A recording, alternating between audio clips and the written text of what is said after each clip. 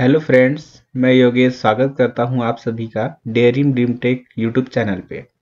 आपको यहाँ computer diploma जैसे triple C D C A D C A O level तथा अन्य कोर्सेज की पूरी जानकारी उसके सिलेबस के अनुसार दी जाएँगी।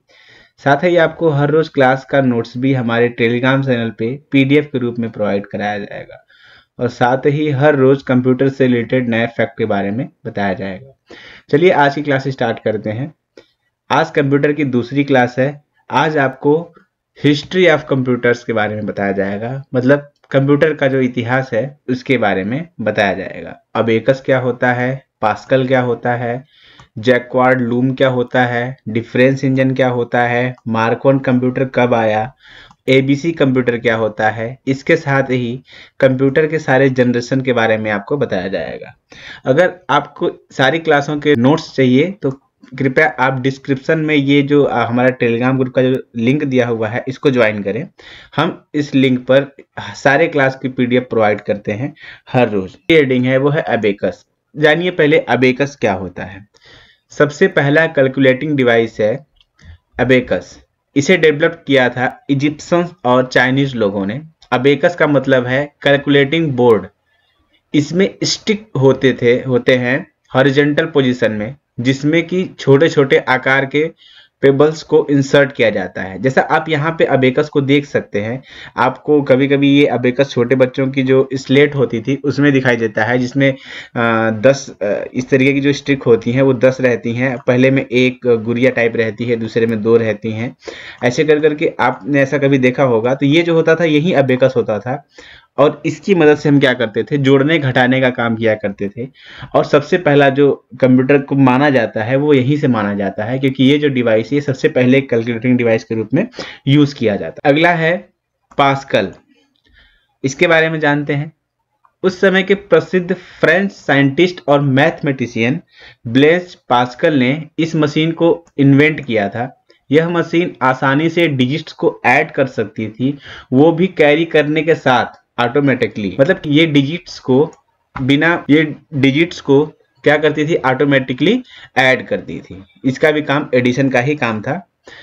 इसकी यह मशीन इतनी ज़्यादा रिवोल्यूशनरी थी कि इसकी प्रिंसिपल्स को आज ही बहुत सारे मैकेनिकल काउंटर्स में इस्तेमाल किया जाता है। अगला है जैकवार्ड लूम आइए सर इसके बारे में जानते हैं। वही ईयरली एटीन सेंचुरी में एक French waste Joseph Marie Jacquard ने एक ऐसा प्रोग्रामेबल लूम डेवलप किया जिसमें मेटल कार्ड का इस्तेमाल होता था। मतलब इसके अंदर जो कार्ड इस्तेमाल होते थे, वो मेटल के बने होते थे। पंचेड होल के साथ जो कि गाइड करता था वेविंग प्रोसेस को। मेटल कार्ड में जो स्टोर करते हैं, ये पहला ऐसा प्रोग्राम था। यह एक पहला कंप्यूटर मैन्युफैक्चरिंग यूनिट भी था, जिसका इस्तेमाल आज भी बहुत सारे जगहों में होता है। ये जो जैकवार्ड लूम है, इसका प्रयोग आज भी आप अगर ध्यान से देखेंगे, आप अगर इधर मशीन को देखिए तो यहाँ पे जो भी हमारा जो मेटल कार्ड है, इसके ऊपर कुछ निशान बने होते हैं। इसका आज भी हम इस्तेमाल करते हैं, जैसे कि अब जो साड़ी, कपड़ों की जो बुनाई होती है, उसमें हम आज भी इसका इस्तेमाल करते हैं। अगली जो हमारी हेडिंग है, वो डिफरेंस इंजन है, जिसको चार्ल्स वेवेज जी ने बनाया था, और ये इंग्लैंड के रहने वाले आइए इसके बारे में थोड़ा हम जान लेते हैं।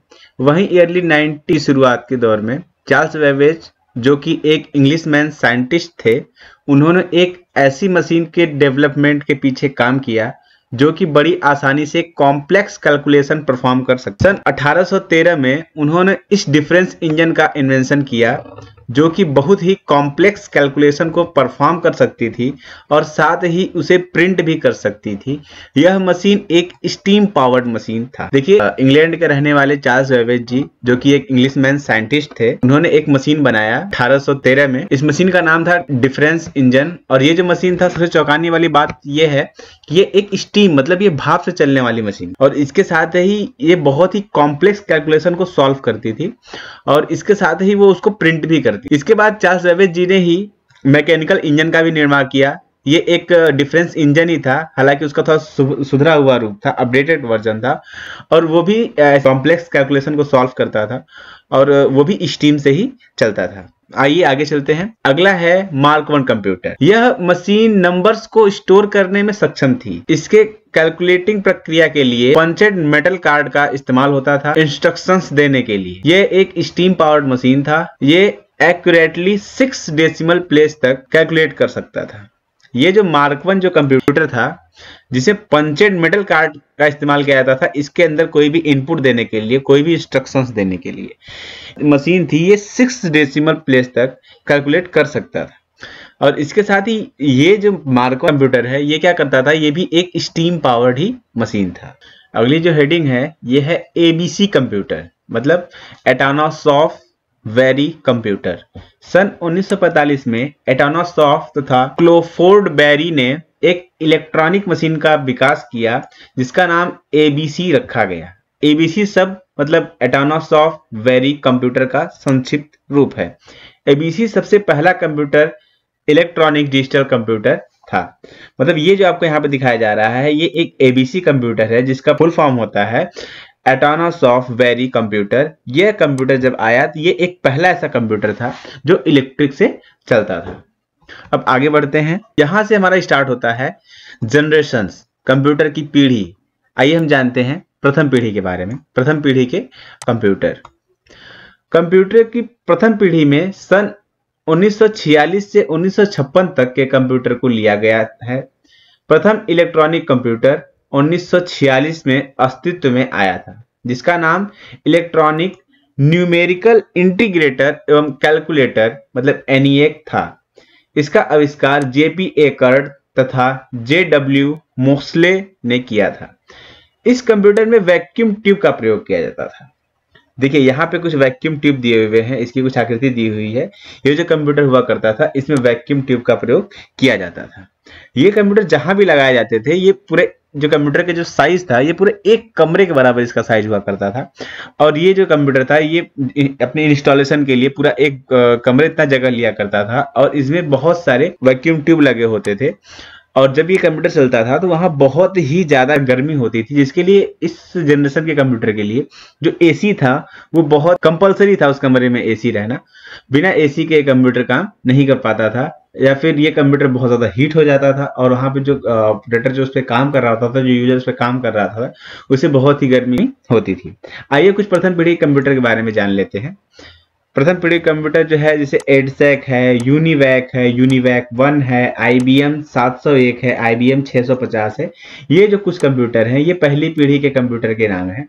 इस पहली पीढ़ी के कंप्यूटर में इसकी कुछ कमियाँ भी थी। जैसे में, ये जो कंप्यूटर था, ये बहुत ही बड़ा था, पूरे जगह बहुत ज़्यादा रहता था, पूरा एक कमरे के बराबर जगह लिया करता था। और ये हीट बहुत ज़्यादा प्रोड्यूस करता था, बहुत ज़्यादा हीट क्रिएट करता था। इसलिए जिस कमरे में इस कंप्यूटर को रखा जाता था उस कमरे में एयर कंडीशन होना बहुत ही ज़रूरी था। साथ ही ये कंप्यूटर बहुत ही स्लो काम करता था। आइए जानते हैं अगली पीढ़ी के बारे में। कंप्यूटर की ये द्वितीय पीढ़ी है सेकेंड जनरेशन ऑफ़ कंप्यूटर आइए इसमें जानते हैं। कंप्यूटरों की द्वितीय पीढ़ी में सन 1956 से 1964 तक के कंप्यूटर को लिया गया है। इस पीढ़ी के कंप्यूटर्स में ट्रांजिस्टर का उपयोग किया जाता था, जो वैक्यूम ट्यूब से काफ़ी बेहतर थे। ट्रांजिस्टर इस पीढ़ी के कंप्यूटर का मुख्य घटक था। आपको बता दें कि ट्रांजिस्टर का आविष्कार विलियम सोकले तथा उनके सहयोगी वैज्ञानिक टीम ने उन्नीस में अमेरिका में किया था। देखिए, ये जो ट्रांजिस्टर हैं, जो आजकल भी आप बहुत सारे इलेक्ट्रॉनिक डिवाइसों में लगे मिलेंगे तो सेकेंड जनरेशन का जो कंप्यूटर था, वहाँ पे वैक्यूम ट्यूब को हटाकर ये इन ट्रांजिस्टरों का यूज़ करते थे। जिससे क्या हुआ कंप्यूटर की साइज़ थोड़ी सी छोटी हो गई और कंप्यूटर का जो स्पीड था, जो चलने की जो स्पीड थी, वो थोड़ी तेज हो चुकी थी। लेकिन इस जनरेशन के कंप्यूटर को भी एसी की रिक्वायरमेंट होती थी। ये भी थोड़ा हीट प्रोड्यूस करता था। दूसरे जनरेशन के कंप्यूटर के कुछ नाम है। जैसे आई बी एम सात हज़ार चौरानवे यूनिवैक ग्यारह सौ आठ होनेवेल चार सौ सी डी सी सोलह सौ चार। इस जनरेशन के कंप्यूटर की कुछ कमियाँ भी थी। जैसे ये ये कंप्यूटर भी जो था हीट बहुत ज़्यादा प्रोड्यूस करता था। और फ़र्स्ट जनरेशन के अपेक्षा ये जगह थोड़ा कम लिया करता था। और ये जो कंप्यूटर था, ये पहले जमाने के कंप्यूटर की अपेक्षा थोड़ा तेज चलता था, थोड़ा जल्दी चलता था, थोड़ा फास्ट कैलकुलेशन किया करता था और जगह भी थोड़ा कम लिया करता था। थर्ड जनरेशन ऑफ़ कंप्यूटर मतलब तीसरी पीढ़ी के कंप्यूटर तीसरी पीढ़ी की कंप्यूटर की बात की जाए तो 1964 से 1971 तक के कंप्यूटर को इस पीढ़ी में लिया गया है। तीसरी पीढ़ी में आने से कंप्यूटर के क्षेत्र में काफ़ी विकास हुआ।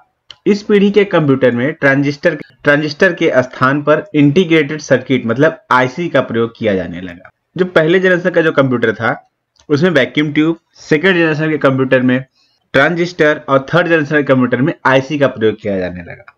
थर्ड जनरेशन के कंप्यूटर में जो सारे कंप्यूटर थे उनकी आकृति बहुत ही ज़्यादा छोटी हो गई। और इसके साथ में ही ये जो काम जो कर, जो ऑपरेशन परफॉर्म करते थे बहुत ही तेज़ी में तेज़ी से ऑपरेशन परफॉर्म करने लगे और बहुत ही अच्छे से चलने लगे।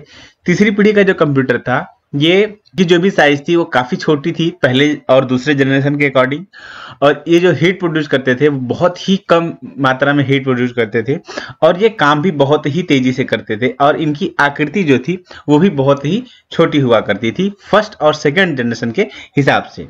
आइए कुछ थर्ड जनरेशन के कंप्यूटर के नाम जान लेते हैं। जैसे programmable data processor one P D P five P D P eight I C L उनतीस सौ तीन आई सी एल 1900 यूनिवैक 1108 ये जो तीस जनरेशन के कुछ कंप्यूटर्स के नाम हैं। आइए, आगे चलते हैं। चतुर्थ पीढ़ी के कंप्यूटर मतलब फोर्थ जनरेशन ऑफ़ कंप्यूटर आइए, हम चौथी पीढ़ी के बारे में जानते हैं। सन 1971 से 1985 के बीच के कंप्यूटर में आईसी चिप के स्थान पर वीएलएसआई मतलब very large scale integrated chip का प्रयोग किया गया, जिसे माइक्रो प्रोसेसर कहा जाता है। इस टेक्नोलॉजी में एक ही चिप पर तीस हज़ार कंपोनेंट इंटीग्रेट करना संभव हुआ। देखिए, फोर्थ पीढ़ी के जो कंप्यूटर थे, इनमें क्या हुआ? आईसी लगी होती थी, जो इंटीग्रेटेड सर्किट जो लगी होती थी थर्ड जनरेशन कंप्यूटर में, उनके स्थान पर वीएलएसआई मतलब very large scale integrated chip का प्रयोग किया जाने लगा। जैसा कि आपको यहाँ पे जो दिखाया जा रहा है, ये कंप्यूटर के अंदर यूज़ होने वाला माइक्रो प्रोसेसर है, और इसकी मदद से कंप्यूटर बहुत ही तेज़ी से काम करता है।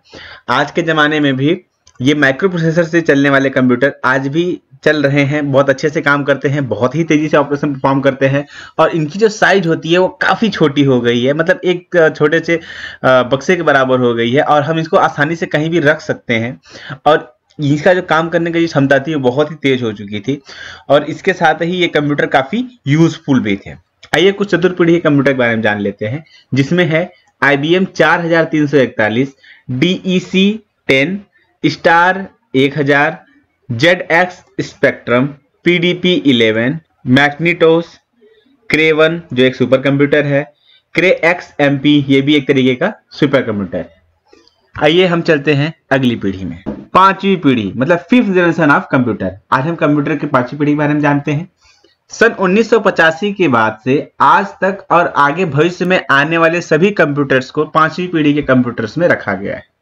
इस पीढ़ी के कंप्यूटर्स में कृत्रिम बुद्धिमत्ता आर्टिफिशियल इंटेलिजेंस का प्रयोग कर बुद्धिमान बनाने का प्रयास जा रहा है, जिससे वॉइस रिकॉग्निशन एवं इमेज कंट्रोल का कार्य तीव्र गति से किया जा सके। इस पीढ़ी के कंप्यूटर में सी के स्थान पर सी मतलब ultra large scale integration circuits का इस्तेमाल किया जाएगा। जो पांचवी पीढ़ी के जो भी कंप्यूटर है, जो 1985 के बाद जो भी कंप्यूटर आ रहे हैं, इनको पांचवी पीढ़ी के जनरेशन में रखा जा रहा है, क्योंकि ये जो कंप्यूटर है, इनके अंदर U L S I C मतलब अल्ट्रा लार्ज स्केल इंटीग्रेटेड सर्किटों का प्रयोग किया जा रहा है। इसका मतलब कि ये जो कंप्यूटर है, ये अब धीरे धीरे आर्टिफिशियल इंटेलिजेंस के ऊपर बनाए जा रहे हैं। इनके अंदर आर्टिफिशियल इंटेलिजेंस डाला जा रहा है ताकि ये खुद से सोच और समझ सकें। आइए हम पाँचवें जनरेशन के कुछ कंप्यूटर्स के नाम जान लेते हैं, जैसे डेस्कटॉप जो हम नॉर्मल में यूज़ करते हैं लैपटॉप जो हम नॉर्मल में यूज़ करते हैं। प्लैमटॉप ये भी एक तरीके का कंप्यूटर ही है। नोटबुक अल्ट्राबुक क्रोम बुक उसके बाद परम। परम एक तरीके का बहुत हाई स्पीड का सुपर कंप्यूटर है, जो पांचवी जनरेशन में आता है। अभी तक हम लोगों ने कंप्यूटर के पांचवी पीढ़ियों के बारे में जान लिया है। जिस तरीके से सबसे पहले जमाने का जो फ़ोन हुआ करता था, पहले टेलीफोन हुआ करता था, उसके बाद धीरे धीरे वन आया, जिसमें एक बहुत ही बड़ा फ़ोन हुआ करता था, जिसके अंदर एंटीना लगा होता था। उसके बाद धीरे धीरे जो हमारे फ़ोन का विकास होता गया सेकेंड जनरेशन का फ़ोन आ गया, फिर थ्री आ गया, फिर फोर आ गया, और फाइव आने का प्लान चल रहा है। इसी तरीके से जैसे में, हम फोनों को अपडेट करते जा रहे हैं अपने ज़रूरत के अनुसार। ठीक इसी तरीके से कंप्यूटर को भी शुरू से लेके अभी तक जो भी है, अपडेट किया जा रहा है। और आगे आने वाले समय में जो कंप्यूटर होगा, ये अभी धीरे धीरे रोबोट में कन्वर्ट हो जाएगा और ये खुद से सोचने और समझने लगेगा। आज की क्लास में बस इतना ही। कल की क्लास में हम जानेंगे टाइप्स ऑफ़ कंप्यूटर के बारे में। अगर आपको ये वीडियो पसंद आई हो तो वीडियो को लाइक करें शेयर करें। साथ ही हमारे चैनल को सब्सक्राइब करें और बेल आइकन को ज़रूर से प्रेस करें। अगर आपको किसी भी तरीके का सवाल रह गया हो तो कमेंट बॉक्स में ज़रूर पूछें। हम हर एक सवाल का जवाब ज़रूर देंगे। अगर आपने अभी तक टेलीग्राम चैनल को ज्वाइन नहीं किया है तो प्लीज़ जल्दी से टेलीग्राम चैनल को ज्वाइन कर लीजिए, ताकि हर रोज जो आपको पढ़ाया जा रहा है, इसका पीडीएफ आपको आसानी से मिल सके। धन्यवाद। जय हिंद।